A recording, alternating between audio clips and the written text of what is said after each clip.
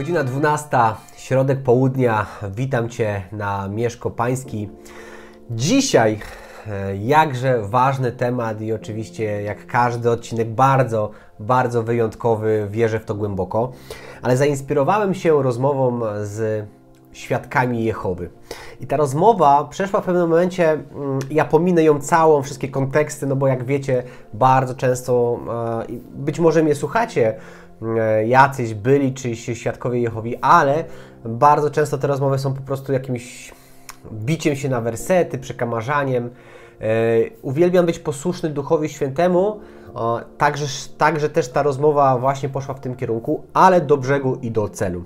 A propos Ducha Świętego Ruach HaKodesh. W pewnym momencie rozmowa zeszła na tematy związane z opieczętowaniem, zapieczętowaniem, e, z tym, e, kim jest Duch Święty, czy jest, e, trzech osobach.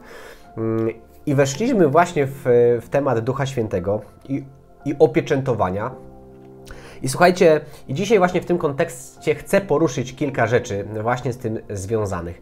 I przypomniała mi się kiedyś historia, którą, e, którą usłyszałem.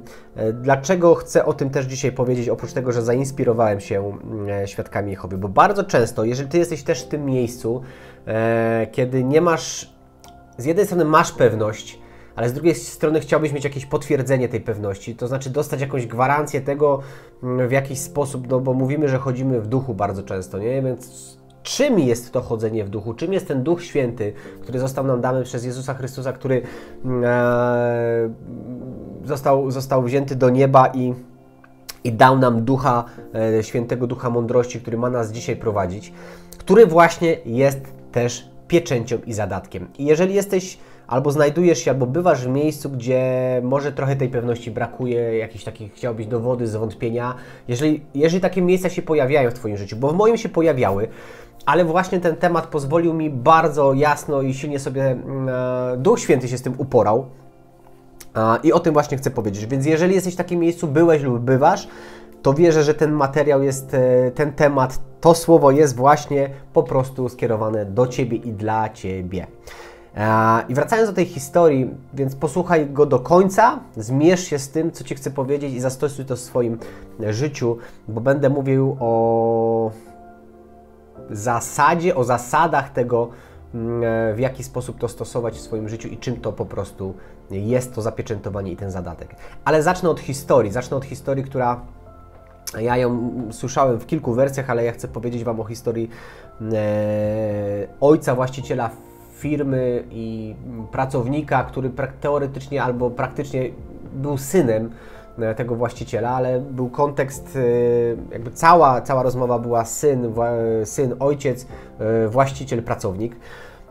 Kiedy przychodzi, przychodzi ten właściciel firmy do, do swojego pracownika i wręcza mu czek na 100 tysięcy dolarów. Wręcza mu ten czek i mówi, że za kilkanaście lat ta kwota zostanie całkowicie Tobie przekazana. To będzie to jakby to będzie Twój spadek, to będzie Twoja obfitość, którą ja dzisiaj dla Ciebie przekazuję. No ale ten pracownik z jednej strony jakby bardzo się ucieszył, ten syn i sobie mówił, wow, nie, potężna ilość gotówki, no ale przecież o, musi upłynąć tam kilka lat. I, I, ten szef i ten e, tata mówi, mówi do, do niego tak, ale słuchaj, ja wiem, że to kilka lat musi upłynąć e, do tego czasu, żebyś tą kwotę otrzymał. I ja pomyślałem sobie tak i wręczam mu do ręki drugi czek, daję mu ten czek, a pomyślałem sobie tak, że od tej kwoty, tych 100 tysięcy dolarów, co roku będziesz otrzymywał taki właśnie czek, jaki teraz Ci daję, na procenty od tej, od tej sumy. Nie? I tam te procenty jakieś wyszły, to było właśnie, nie chcę tych procentów tam przekrzywić, ale dostał tam czek na ten, dajmy na to 6 tysięcy 6 tysięcy e, e, dolarów, tak? Czy jakąkolwiek kwotę po prostu procentową od tej dużej sumy. Ten syn, ten pracownik po prostu był bardzo, bardzo szczęśliwy, no bo miał dwie perspektywy, tak? Perspektywę przyszłości, e, tego, co, co go czeka, tej obfitości w tej kwocie, którą dostanie. Ona będzie niezmienna, ale od tej kwoty co roku dostaje e, dodatkowe pieniądze dwie perspektywy, które, które właśnie pokazują e, to, o czym chcę dzisiaj właśnie Wam powiedzieć. E, jesteśmy zapieczętowani Duchem Świętym i w tej pieczęci, w tej gwarancji, w tym zadatku czekamy na dzień odkupienia, który właśnie po prostu się e, zbliża. A co na to mówi Słowo, Słowo Boże, do czego się chcę odwołać, to jest do drugiego listu do Koryntian, pierwszego rozdziału do 22 wersetu, e, gdzie, gdzie Paweł e, pisze, Duch Święty przez Pawła pisze tak. Ja zacznę od 21. Tym zaś, który utwierdza nas razem z Wami w Chrystusie i który nas namaścił, jest Bóg, który też zapieczętował nas i dał do naszych serc ducha jako zadatek. Jako zadatek. Więc zobaczcie, tu już jest, już jest poruszony ten temat tego zadatku, e, tego, tego, tej, tej zaliczki, którą dostajemy, tej pieczęci, bo ja chcę o tej pieczęci tym bardziej teraz w tym momencie powiedzieć. E, ale ten sam e, list drugi do Koryntian, piąty rozdział, piąty rozdział, piąty werset mówi tak. A tym, który nas do tego właśnie przygotował, jest Bóg, który nam dał też ducha jako zadatek. E, I ten zadatek, e, ja go trochę tak chciałem pod swoją branżę, pod to, czym się zajmuję, e, złapać. I w rozumieniu handlowym zadatek jest takim gwarancją, taką obietnicą, która zostaje złożona. Mm, ja sobie to nawet w taki sposób zapisałem. W tym wypadku, tym handlowym, zadatek, zaliczka, termin handlowy jest początkową spłatą pewnego zobowiązania, pewnej obietnicy, pewnej zapłaty. Jeżeli e, zadatek jest dany, to my dostajemy taką gwarancję w tym rozumieniu handlowym, na pewno w tamtym czasie, mamy gwarancję, że ta ostatnia płatność po prostu ona zostanie uiszczona. Jest gwarantowana ta ostatnia kwota. I teraz zobaczcie, co się dzieje. Z czego wynika ta moja radość, której podczas na przykład rozmowy z tymi świadkami z tej perspektywy nie było? Dlaczego? Dlatego, że ja mam dzisiaj pewność w Duchu Świętym, e, radość e, tych rzeczy, tych pełnych obfitości, tych pełnych błogosławieństw, które dostanę w życiu wiecznym, ale które dzisiaj mi są w jakiejś tam e, części po prostu dane. Zobaczcie, jak Bóg genialnie to stworzył. Zapieczętował, zagwarantował, obiecał, a że On spełnia i dotrzymuje wszystkich swoich obietnic, swojego słowa, które jest zawsze na tak i na amen. Mamy dzisiaj gwarancję tego w Duchu Świętym. I to, e, kim i czym jest dla nas Duch Święty, bardzo jasno pokazuje, mm, e, pokazuje ten fragment. Jest zadatkiem samego Boga, e, trój jedynego Boga, czyli Duch Święty jako zadatek. Ale jako zadatek i pieczęć przechodzimy w to zapewnienie Boże i o tym Wam chcę, chcę dalej powiedzieć e, w liście do Efezjan.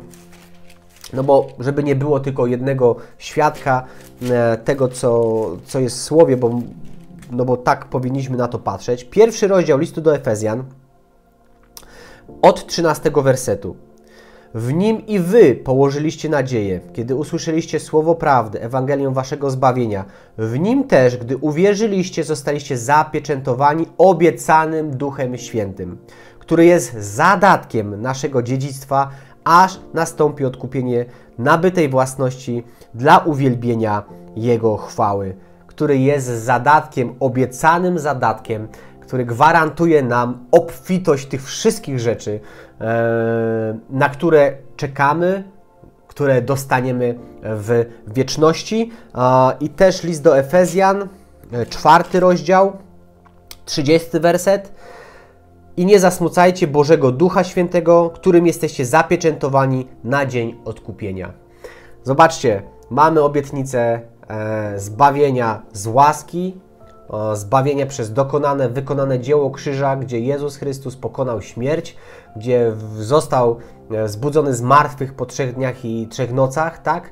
Po to, abyśmy dzisiaj my mogli e, mieć życie wieczne, obfitości, które to życie wieczne jest zagwarantowane e, Duchem Świętym, który też jest pieczęcią, a, a ta pieczęć powoduje to, że jesteśmy mm, naznaczeni na dzień odkupienia kiedy Jezus Chrystus przyjdzie e, po swoje. E, jeżeli chodzi o to zapewnienie, które mnie tak nieustannie pociesza. Ja do tego po prostu wczoraj wróciłem swoim sercem bardzo mocno. To jest list do Rzymian.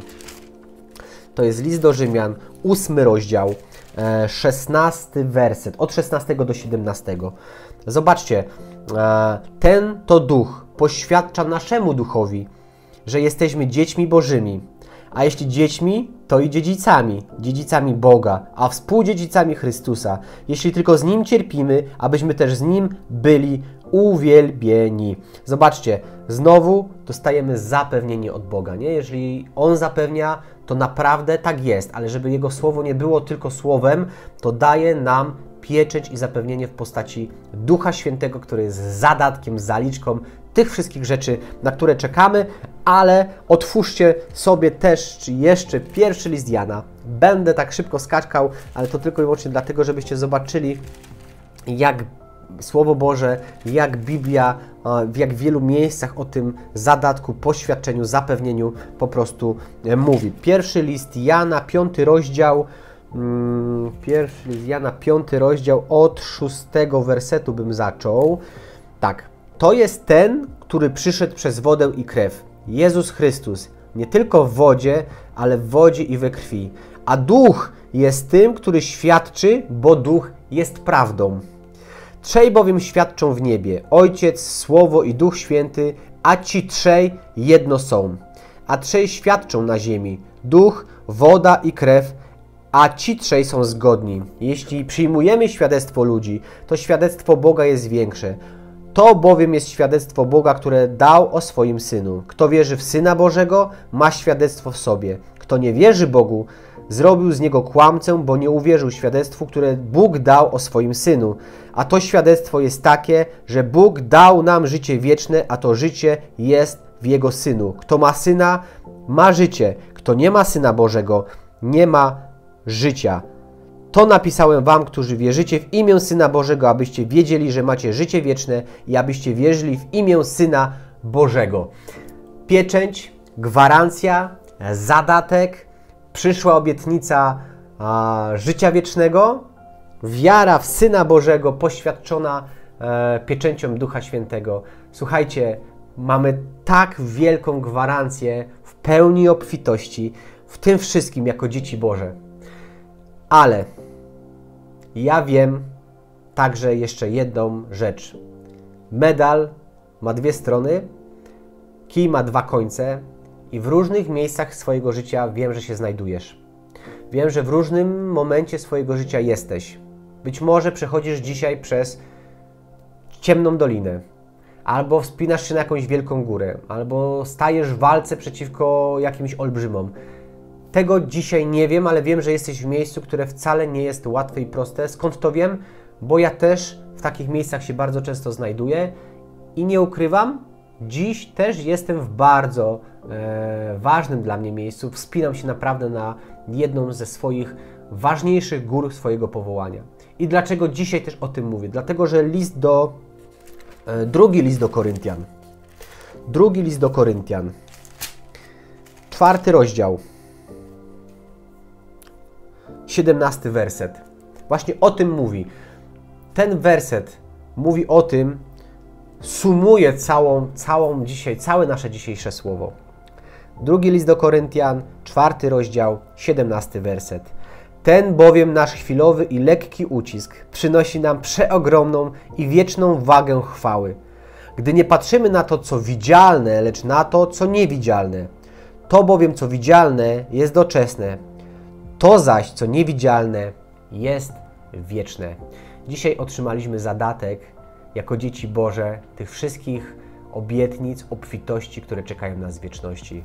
Wieczności, którą wyczekujemy, która na dany moment jeszcze jest niewidzialna. Ale wierzę, że przez wiarę, przez to, co mamy bezpośrednią relację, przez bezpośrednią relację z Bogiem, przez, naszego, przez Jego Syna, naszego Pana Jezusa Chrystusa, mamy zagwarantowane, jesteśmy zapieczętowani, e, a dzień Jego powrotu po nas przyjścia się zbliża, przyjdzie jak złodziej, więc bądź gotowy, oczekuj Jego przyjścia, e, nie bądź obojętny i zostawiam Cię z tą wielką radością, tym zapieczętowaniem, z tym zadatkiem w Duchu Świętym. I do zobaczenia na kolejnym Mieszko Pańskim. Cześć.